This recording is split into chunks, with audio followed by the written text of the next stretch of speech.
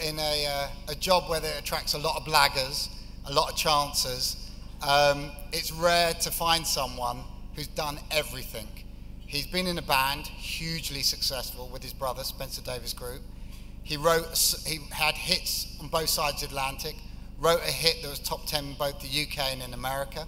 He then became a producer and produced the first Dire Straits album. He produced This Town Ain't Big Enough for the Both of Us by the Sparks, was one of the founding staff members of Island Records. He then went to CBS and became one of the most successful A&R men in the world. And every single person that had emailed me said, I wish him the best of luck for tonight. He thoroughly deserves this award. And he's a brilliant bloke, a brilliant A&R man, and one of the most practical people I met, met in a business full of people who make hogwash up about the voodoo of what A&R is. It's really simple, in the words of Muff.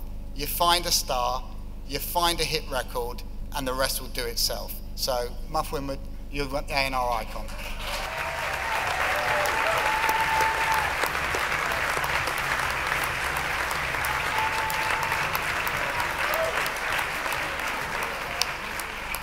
I started in the business in uh, the late 50s, early 60s, and I was in a band. You kind of saw it there.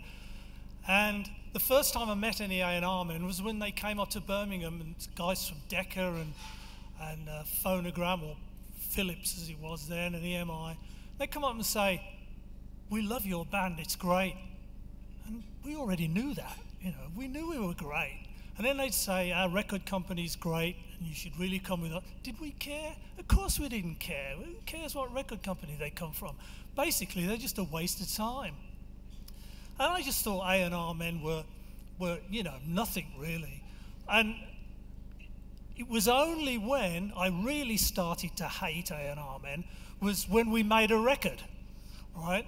And then the first thing that happens, they call you in the office and they say, that's not really good enough you know, and uh, you need to change this and a bit more drums on that. Go in, we'll give you another producer. And the worst thing of all, we hated most of all, is when they said, Your song ain't good enough, we've got a great song for you. Wankers. That's what we called them, wankers. And then I became one. But in a funny kind of a way, all that kind of works because many years later, when I'm sitting in the office and I've got a young actor or a young artist sitting there and I'm saying, this song isn't really good enough and you need to change this and perhaps we should have a new producer and maybe we should remix it. And I can see them looking at one another across the room and I can see it in their eyes. They're thinking, wanker. but you know what?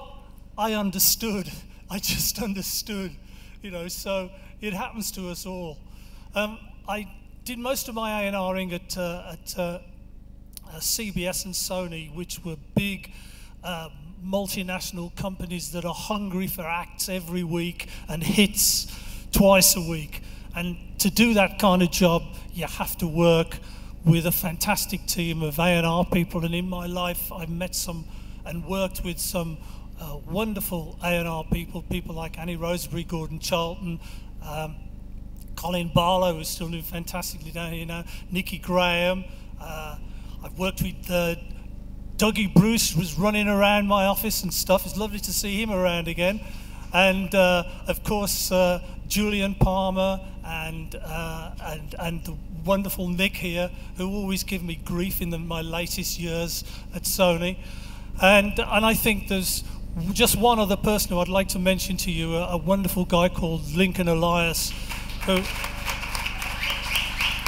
who I met uh, in the last few years, if you like, of my life, and he kind of extended my A&R life by 15 years or so. And he was just my A&R soulmate. And uh, he was a wonderful guy to work with, and we worked together like two peas in a pod.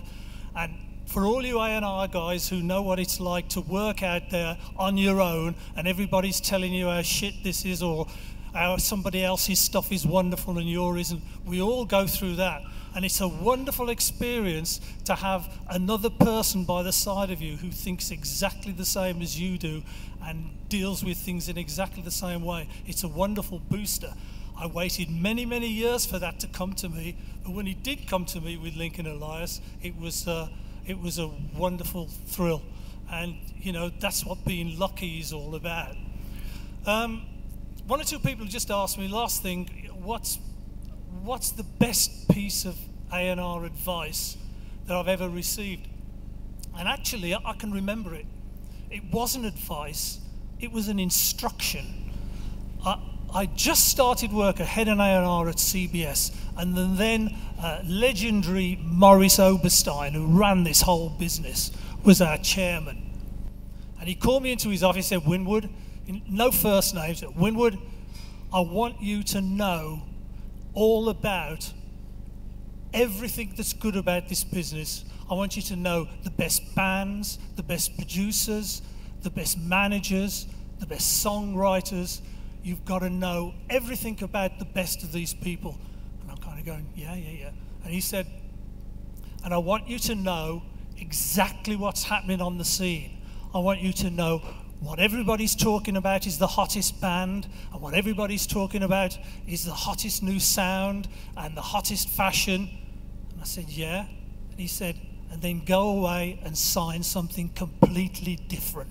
Thank you very much indeed.